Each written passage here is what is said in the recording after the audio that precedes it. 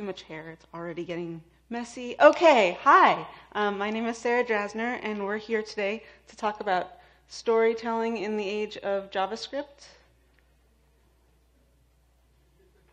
Um, I am a storyteller on the web, and you probably are too, because um, if you make or design or work on products or work on engineering for something on the web, you're actually telling stories. So let's kind of dive into that. So, why is storytelling important? During this talk, we're going to explore storytelling on the web by going over why it's important, why we should care about it at all, why that's like even necessary. We'll go over some concrete examples to get you going, and we'll talk about some general options for the course of a story on the web.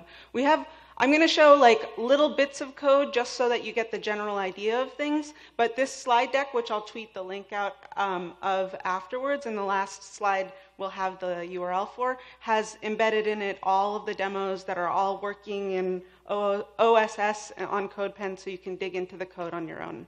Um, yeah. So why is storytelling important? Storytelling is a fundamental piece of our humanity. Our earliest records of humans revolve around storytelling. Part of the reason for this is that our biology rewards us for being curious. We ask ourselves what's in that bush so that we can eat something or run away from a predator. We get a dopamine rush from hearing stories. So, Story also allows us to plan for the future. We can imagine possible scenarios and kind of go through things that might be dangerous to us or like things that we need to be thinking about without actually physically going through them so we can kind of prepare. Um, for these reasons, we crave story. If you had a hard day at work, sometimes you come home and you chill out and you watch Netflix, or you go to a bar and you trade stories with your friends. It's actually, you know, something that, that your biology rewards. So some of you might be familiar with journey maps on a website, but in case you aren't, here's an example. It's walking through the process of being a visitor on your site and all of the steps that they might go through and what it looks like to be them. So a lot of what we're going to talk about today is framed within that type of journey. Now, that seems simple enough. So, what are the things that are getting in our way of a seamless experience on the web? Well, each of these teams have different products and so like let's say you have like a big site and you have a you know a search page and a product page but people are not actually talking to each other about how you transition from the search page to the product page and back again. And you know even within these teams we get split apart. So the product person is like oh we got to get that them to click on that button like times a million times. And you know design wants to make everything look cohesive and branded and like you know, not like a crazy mess.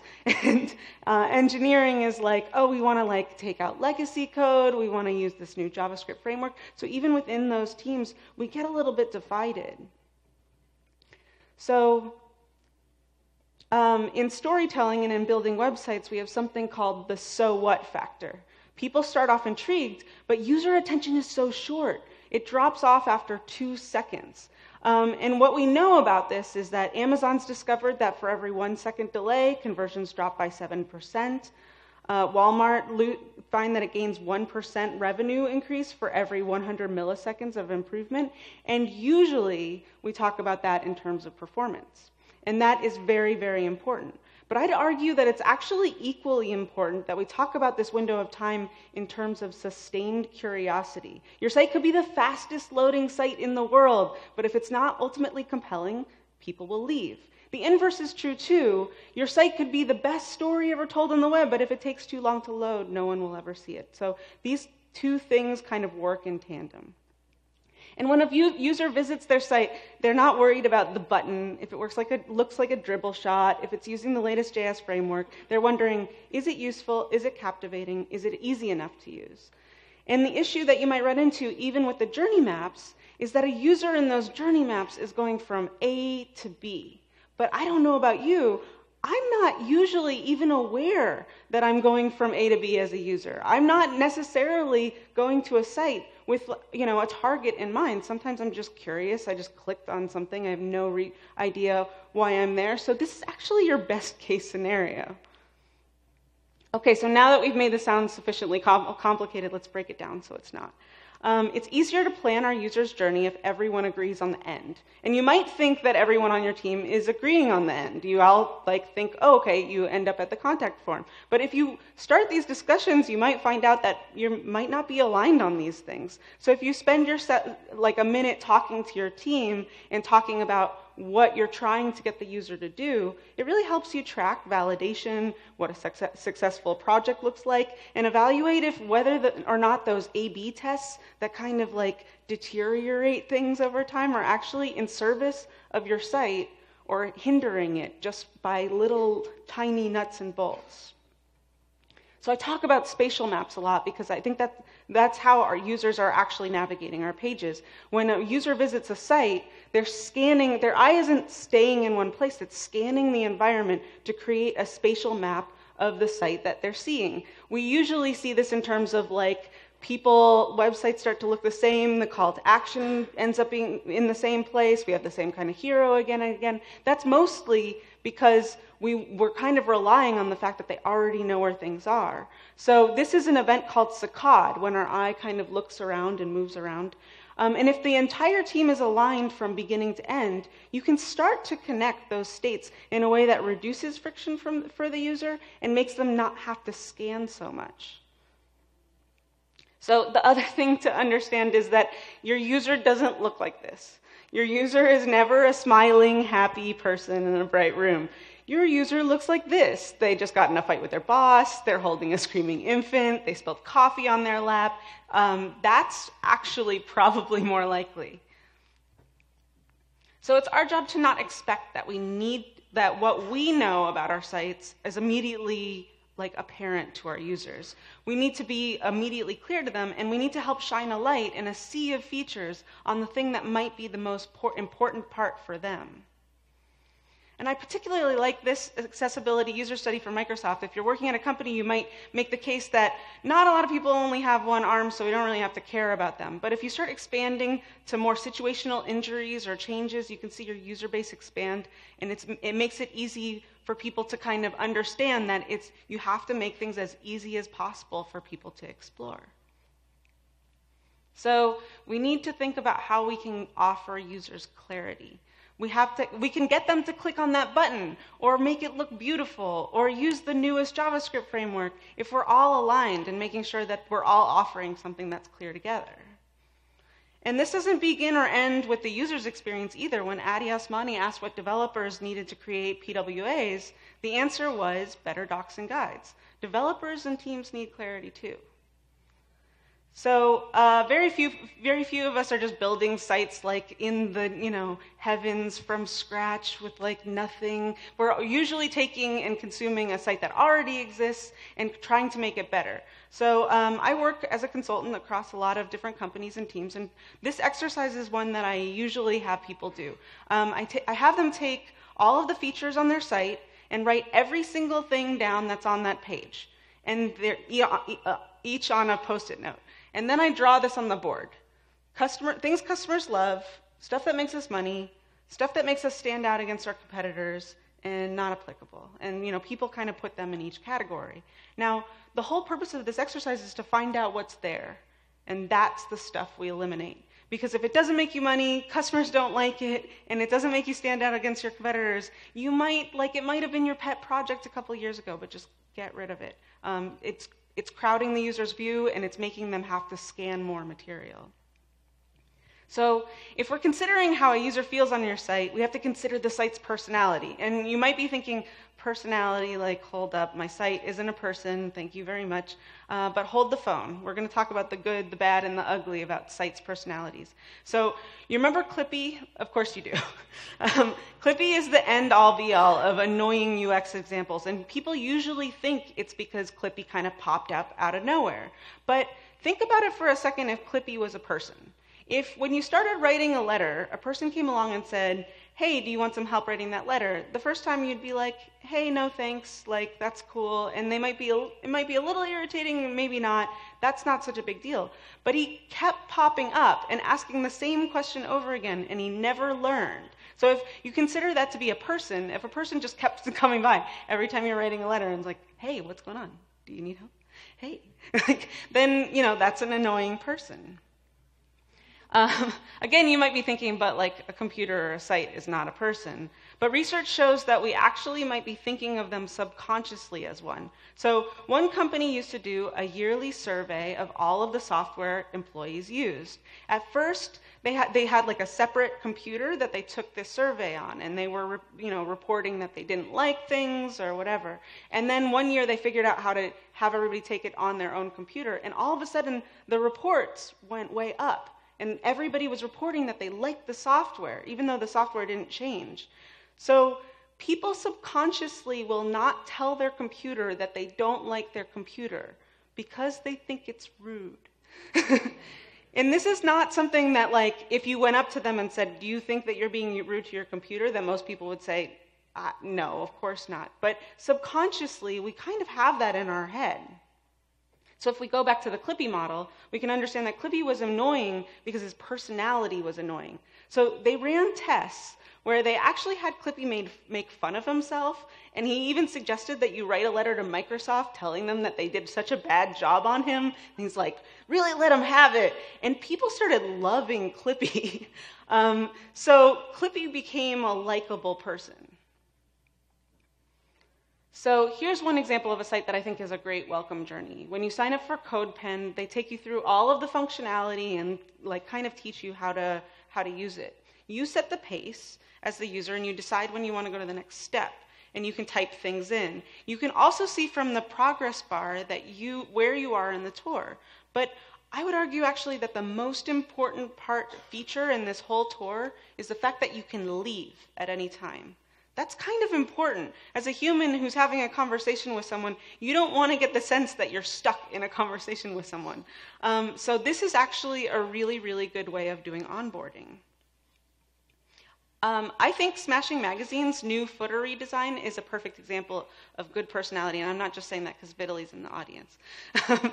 the cat is the mascot for Smashing, and you can see him uh, here on desktop pouncing towards the bird. But then when you scroll the window down, you get this funny story of what might have happened to the bird. This is actually really smart because anytime we feel an emotion, our capacity to remember increases. Something attaches to our limbic system and we re- can recall that much better. So this is a really this is really smart branding and a really smart use of a website. I think Netflix is a good example of good and bad personality. Like, sometimes I'm really glad that it learns me and learns my behavior a bit, but sometimes it goes too far. Like, if I watch a bunch of horror films in a row and then I watch a comedy, then I'm only all of a sudden ever showed Shaun of the Dead. Um, and you can see this one user here had a, you know, two accounts, Hattie and Drunk Hattie, to kind of, you know, hack the system and circumvent the way that they did this. Um, so if you'd like a, and this is actually done with some machine learning algorithms, and there's actually a thing called TensorFlow for Poets. So if you want to check out, you know, machine learning algorithms and how they work, but you don't have a like strong machine learning coding background, you can totally do it right there, and it's really, really interesting. So personality is also important in storytelling because it kind of teaches you empathy. Wow. So this is WALL-E that I made with uh, SVG and you know a little cursor override. Wow. And and he kind of blinks and tries to get his cockroach friend and stuff. But you know, WALL-E is very very likable as a character when we watch that um, that show. So you immediately kind of connect to something that you can like uh, like feel empathy towards, and it's way, um, a way to get more attached to that experience. The humble loader is incredibly important when we consider perceived wait times on the web, and this has a lot to do with our curiosity. So, um, humans overestimate passive wait time by 36%. Um, Eli Fitch gave a great talk about this called uh, Perceived Performance, the Only Kind That Matters. And I think that's a great title because it, it really is true. You can run timeline benchmarks in JavaScript all, you know, all day, and I do do that, but what it's not telling you is how the user is actually perceiving that amount of time. Even if it's only two seconds, it might feel a lot longer. So um, Viget did a study with a couple of different loaders. One was like the kind of default loader, and one was just you know their brand with the loader. And they found that people were willing to wait twice as long just because they put their brand on it. And this is the Wave app loading experience. If you want to learn how to code something like this, there's a great P5JS coding train with Daniel Shiffman that's free on YouTube. So um, some things that we know that we can like help, you know, make loaders really, really awesome. Uncertain wait times are longer than known finite waits. That's why that those progress bars are really successful. Um, Disney World and airports both know that entertainment while you're waiting makes it not feel as long. So Disney World will show you like animatronic things going on. Airports actually make you walk all the way around to get your bags so you don't feel like you're waiting very long at baggage claim. They're kind of like hacking you. Um, anxiety makes waits seem longer. So if you give somebody your credit card information on the web and you don't know what happened and no feedback is given to you, it makes the wait feel a lot longer because you're like, uh, I just gave my credit card to the system. Um, and also, people want to get started. That's why doctors bring you into waiting rooms before they're actually ready to see you because you feel like you're like already on the doctor journey. Um, for a little while, I didn't have this slide like on the slide deck because it's so captivating that I have a hard time looking at it and speaking at the same time. That's a really good case for a loader. If it's so captivating, you like lose your train of thought. That's perfect. Oh, there's a loader collection on CodePen that has just like tons and tons of loaders to explore. I think loaders are a great case for SVG. SVG can be super small if you uh, design for performance. It offers a navigable DOM so you can dive right into it and animate small parts without any crazy positioning. Um, I'm going to talk about the GreenSock Animation API a little bit later on, which um, provides cross-browser stability on all devices and even IE. Um, so that's pretty awesome. SVG is fully supported, all green on Can I Use. You can go look it up. Um, and it's easily scalable for responsive. It's in the name, scalable vector graphics. That's a really big part of it. Another big part of it that you might not know is if you dive into the SVG DOM and you animate things, even when you're scaling it, you don't have to adjust those animation parameters. They exist within the coordinate system, so the animation scales too. So that's really good for responsive development. So this is an, um, an example from an extension I use called Honey. Um, what it does is it kind of like checks the internet for other coupons and codes that you can use to apply to your, you know, anytime you're checking out of a sale. Um, and sometimes that process takes about 30 seconds. So here you have the progress bar, you have a cute little animation that's kind of like, like taking your attention, and you can also see the testing codes working while they're you know, while she's going. So it's actually captivating. I can actually watch that animation for a full minute without feeling bored or closing the thing out. And that is really vital to the health of that extension. Um, I also made this uh, loader for Smashing Magazine uh, for their checkout experience. And this, the, the reason why I'm showing this to you is because the entire file size is six kilobytes, which is really, really nice for um, a really small loading experience. Chris Gannon also does really, really beautiful SVG animations. He found somebody playing around in After Effects on Dribbble and recreated it in SVG. Um, if you are not familiar with his work, definitely go explore his CodePens. Um, and if you want to, oh, sad little thing. Well, I'll give you the. I'll, i think this is the only one that actually uses the internet. So um, it, there's foreshadowing or hints are really, really important to showing the um, the user exactly where they're going. So if you're trying to do like an innovative experience, showing the user exactly like how they can be interacting with something is really important. And I'll show you an example. I made this animating the view box, and you can see there's this like for the SVGs, and you can see these little bloopy bits. The little bloopy bits, that's the technical term, by the way, um, they allow the user to know where they can be clicking in that map. And this whole thing is one SVG that I'm just changing, you know, what we're focused on by animating the view box back and forth. So I don't actually have to load other graphics. It's perfectly scalable for responsive. It's really, really good for data visualization. And here's another example um, of like showing a hint. This is kind of like a unique way of like playing with this app. So what they do is they kind of show you what it would be like to play with it before you get started. It takes two seconds just to kind of, you know, show you what you should be doing, and then you have a good ramp up. So the element of surprise.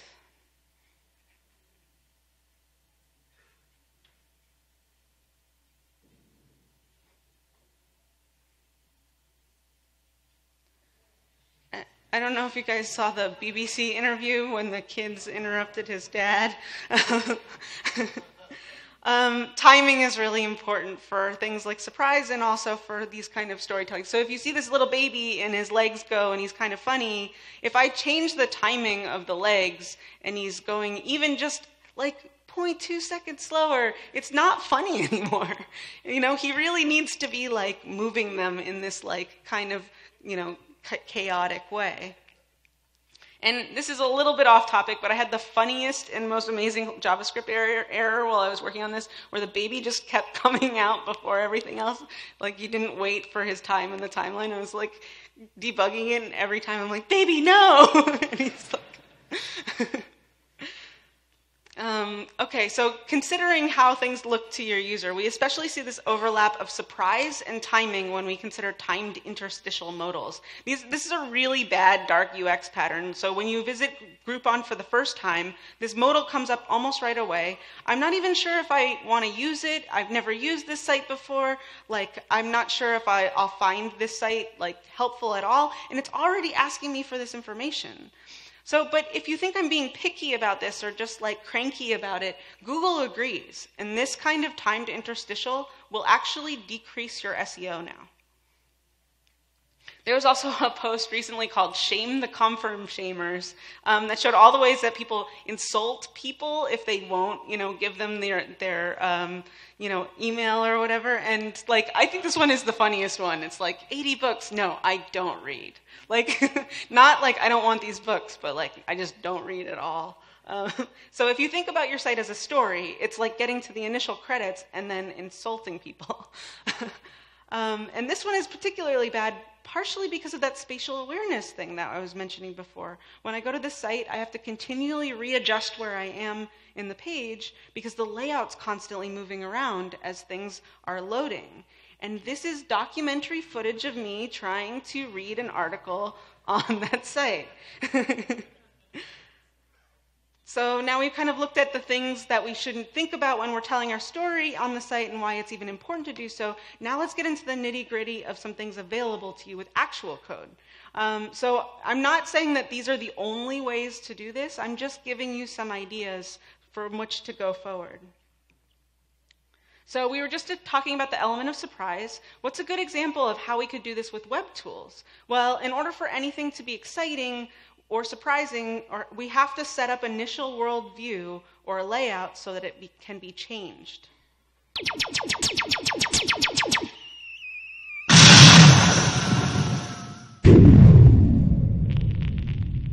So that, that's actually just running in the browser. That's SVG. Um, and this is like surprise with a technique with SVG filters. So right now we like set up this world of like kind of polygon forms and you kind of get used to it for just a second. And then we split it apart with a distortion filter that doesn't look anything like the initial thing. So it has that kind of pleasant surprise. Um, but something worth mentioning is that SVG filters can be a little bit performance insensitive. So what I'll do right before I, you know, when I'm working with SVG filters is I will wait until exactly the moment I need them, apply them, and then remove them. So you can see um, with GreenSock, I can actually tween the attributes of, you know, usually you have to like, in, S- in CSS, you have to like work with the spec and stuff. What's nice about GreenSock or RAF, Request Animation Frame, is it's literally just changing numbers. It's just dumb. It's like beautifully, beautifully dumb. Um, so it doesn't need things to be approved by the spec. So you can animate things like base frequency and get perfect support across all browsers and IE and all of that kind of stuff. Um, but you can see I'm calling on this timeline, I'm calling add attribute and remove attribute after. And that'll initially set the, the filter to zero and then immediately remove the attribute as soon as I don't need it. These are just help, helper functions that I'm using. So another thing we talked about was creating a more seamless transition from beginning to end of the user journey. Identifying the end of the story and making sure that the transitions from one state to another happen as seamlessly as possible. This example by Leo Lung shows a really, really nice seamless transition and it really feels good.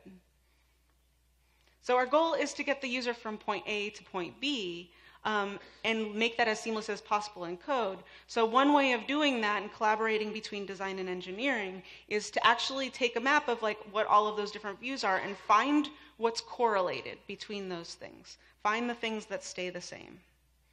So here's an example of not having a transition. It kind of becomes jarring for the user. They have to remap every time something shifts or changes. And it's a kind of a lost opportunity because it feels a little bit clunky. Um, so I'm going to talk about transitions with Vue. I'm going to talk about a bunch of um, examples with Vue.js. It's a JavaScript, JavaScript framework just like React or Angular. Um, I'm a big fan of it. They're really, really, really good at dealing with transitions. So what they do is encapsulate what's changing declaratively. We've got, you know, enter and vEnter active, so we can plug into all of these things here. Um, and all of the pieces here are optional. You don't have to plug into every single one. They just give you these hooks so that you can work with CSS or JavaScript. They also allow you to have little pieces of sugar. Like one of the pieces of sugar that they have are in out modes. And what in out modes allow you to do is specify should this one component wait until the other one is done? And that's actually like a pretty common use case. Like that's like something you will almost definitely need. Um, so being able to specify that and not having to kind of imperatively say, after this one, do this, is really super helpful.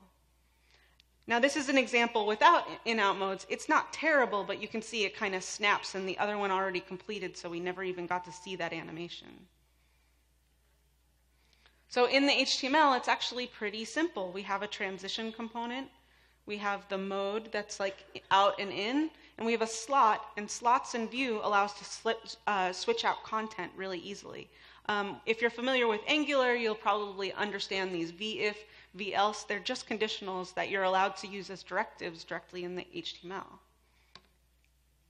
So our transition here plugs into the interactive class hook, and we'd state how that transition would look. So we basically give it a name, and then we can say flip interactive and call that transition, and it'll transition between those states for us.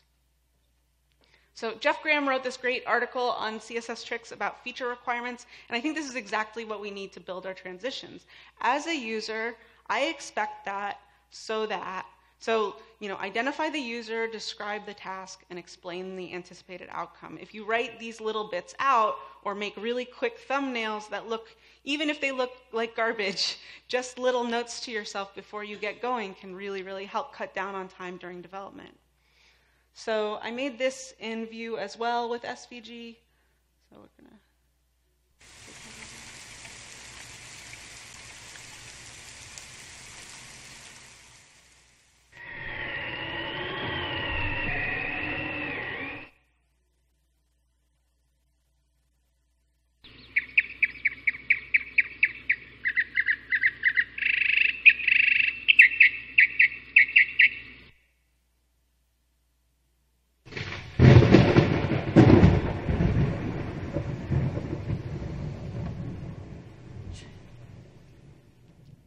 So once we've encapsulated what's changing, each component can actually own its own state. The entrance will always be consistent, and the exit will always be consistent. And we can reuse these components. We can change their order. We can keep our code really dry. And we can manage their state in a really clean and simple manner. So in this example, I'm not even passing the state around. I create a centralized store in Vuex, which is kind of close to Redux if you ever use React. Um, and I can number these templates toggle their visibility, and advance them every time that toggle is set. So each component owns its own thing, and then they're each treated as reusable pieces. And if the state is similar enough, you can simply transition the state with watchers. Here I've built from scratch a chart with Vue. Just because I'm familiar with SVG, you actually don't need a, a charting library like D3. You can actually just write with vif, velse, and that, those kind of things that Vue already has in them um, and create a chart. And as the data changes here, the watchers will update and simply transition between them. So I don't even need to be loading a lot of things. It actually owns its own piece of the animation.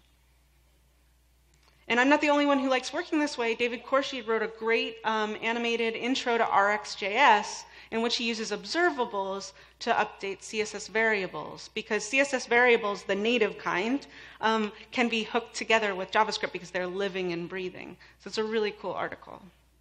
And goats are cool. I like goats.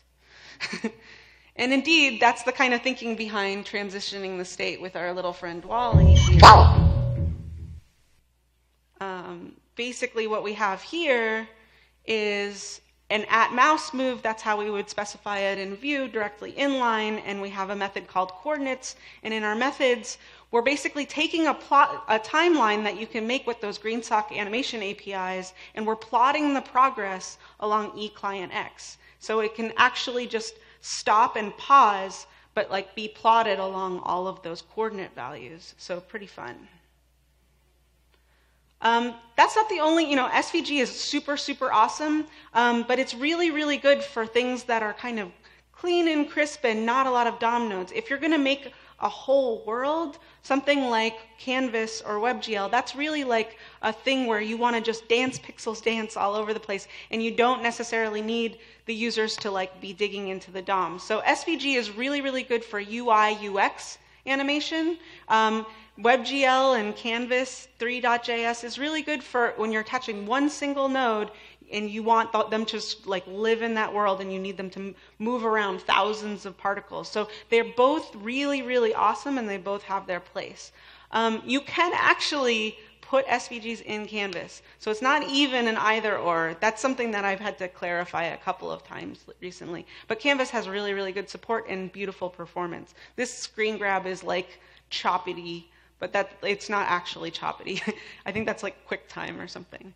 Um, so fictional worlds engage in emotional systems while disengaging action systems. When you're not having to actually move around a website and scroll and navigate the way that you usually do, it kind of like mimics the way that you are like put down when you're dreaming. You're not actually running, you're not actually moving, but that you know system of imagination is engaged. This is Pottermore Patronus. Um, if you're a Harry Potter fan, it like you can play inside this forest and get like your um, Patronus to kind of follow you around, and it assigns a Patronus to you. It's kind of fun.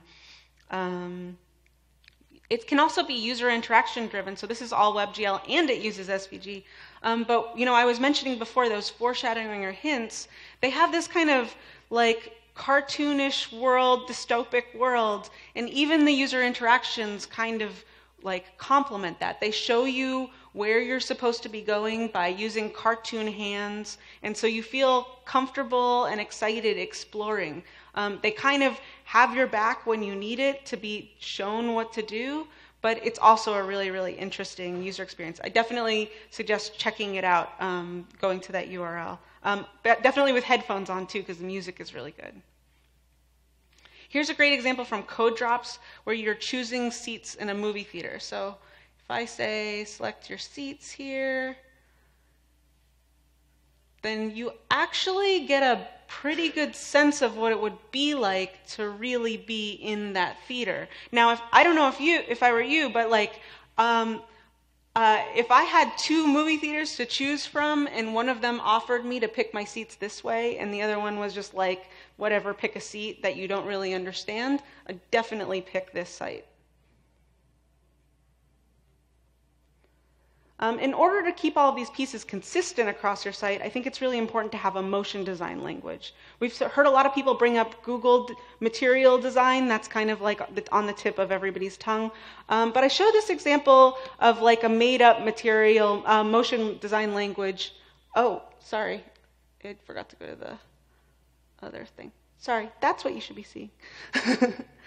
um, uh, because I think people are confused about material design. A lot of people think that material design is motion design because they've never seen somebody or a brand really have a strong opinion on motion, and they did a very good job with it. But people use material design a lot when that's not your company. And I think that's dangerous because every time you work with Google's material design system, people come to your site and they think, Google. Now that's good branding. You just lost a chance to be memorable on your own site. So think about that in terms of the way that you think about fonts or the way that you think about colors on your site. Uh, animation is like just another piece of that, the way that things move. Um, so, what does having an opinion on motion design look like in practice? It could mean you've decided to never flip things and you're only going to morph things. It could mean that you have a really consistent entrance and exit. It could mean that you have certain developer standards that you live up to. And truly, if you go to this uh, demo later that's live, um, you can see like kind of my musings on each one of these things. So um, people ask me how I would enter motion design into big, you know, kind of companies, and I am asked to do that sometimes. So I think what's really interesting about animation is that each piece of animation in CSS is broken out, and, and JavaScript too, is broken out into interchangeable bits. You have animation timing functions, you have easing structures, you have all of these things that can be written as one line of code, but they can also be interchangeable. So if I have something like um, you know, H1, H2, H3, H4, and it's understood that H5 is going to be the body text that's like the default for everything, and H1 is going to be for emphasis, for text. We can do the same thing with motion. We can have T1, T2, T3, T4 for timing. And so everybody kind of base works with the timing that's like 0.25 seconds. That's like kind of a good base to work off of. And then if you need to change it or adjust it as you're working with it, it's simply a matter of changing the class. That way you don't need to know everything about animation and you don't have to rewrite it every time and everything stays consistent. The other thing we can do is we can create specific cubic Beziers or timing functions or, you know, in JavaScript, Sine.easeOut or whatever you, what have you, and we can store them as variables and apply them to a class or a variable that's reusable. So you don't need to know a lot about animation to apply an entrance class. So you start with T5, you always have entrance class for entrances, and you have things like entrance emphasis for something that needs to be stronger than everything else. Just like in your color palette, if you have an all green site, you have these green colors, and then you have that one red to kind of really stand out and be an accent. Same kind of idea. So everything can stay really consistent. I'm just using a really, really small example here. We're applying it to an animation. We can update it on the fly and just kind of change a couple of things around and make the animation feel a little bit different, but it still stays consistent across the site. And I show this pop, you know, that's not that sexy or like crazy or wild or whatever, because I think animations in a UI are most useful when they're subtle especially if you have to see them multiple times. People always, like, when I work on these systems, people always have like a flip 180 degrees. When do you ever need to flip something 180 degrees? When are you ever going to take a piece of your UI and turn it upside down? Like, I would love to hear that use case, but that's in every single code base I've ever worked on at like giant companies. So just thinking about what you really need like, what you really need is probably something way more subtle than that. Um, so we spoke a little bit about how to make like re- relatable experiences that cause empathy, but it's also nice if we have a story where the user is a character in that story. So people care about their own stories. So in this site, they're kind of showing that everybody has a slavery footprint, no matter where they live and stuff. And so rather than telling you everyone has a slavery footprint, what they have you do is go through these kind of exercises and surveys and say whether you're male or female, say where you live, put all in all of these factors, and they make it really playful and beautiful. So you're engaged and you actually want to find out your slavery footprint in a way that if somebody just told you that, wouldn't be as interesting. And using real time data can be really powerful for telling stories. So here's a great example from 538 where you can drag different handles and change subjective reality using real time analytics. Um, but be aware that this kind of forecasting, when done wrong, can have the opposite effect to make people not trust you. So 538 became really addictive for a lot of people during the election, but when the predictions turned out to be false, people were a little bit disenchanted. Um, so real time data is really powerful this way and can be super addicting, but you have to use it well and trust that the information that you're using is accurate enough. This is an awesome piece of storytelling called scrolly telling. It's a device often used by the New York Times. Um, this example is by Shirley Wu. She's a really, really awesome developer, and you should definitely check out her work. She works on a project called Data Sketches with Nadieh Bremer. Um, this experiment was built in D3 and React, and it's a visualization. She saw Hamilton and she loved that musical. So it's a visualization of every single line in Hamilton, and you can see how you can scroll down and the you know the story of the site changes. But as the user, you're in total control too. You can stop and play around with things and kind of hover and find more. So it's not like everything is moving all the time. You're kind of still in control. And there's another site called Let's Free Congress, which is also a great example of scrollytelling. It is a good method to hold the user's attention as well as pairing graphics and concepts. So the user's uh, attention is sustained and they also learn while they're on that journey. So, more than just showing you one flat graphic, you can see how those like kind of facts and figures change around. I'm like smacking my microphone. I'm so excited about it. so, what do we learn um, when we consider our websites to be storytelling? We can think about how they get the user from here to there in the most efficient way, but even if we can't you know, connect those dots so consistently or so easily. Like, let's say we're on a gi- just giant team and it's just moving mountains. We can at least make the journey interesting enough to help them along the way and keep them interested.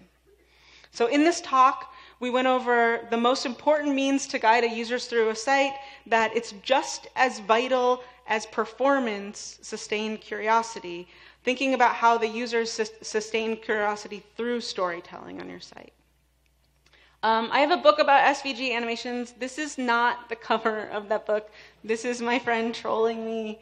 I don't have the man blob animal. That's not even my last name. this is the cover of my book. Actually, now it's in color, which is really cool. Um, and it just came out two weeks ago. I'm really excited. I spent two years writing it, so for me, it's like a huge release. I have like time on my hands.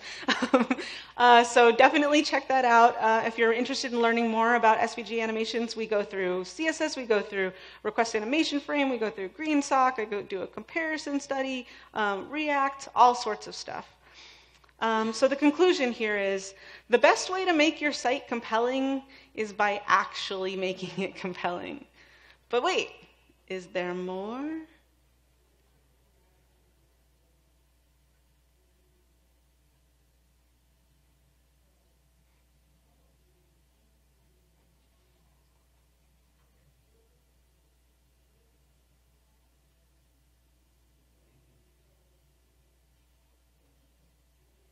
Thank you.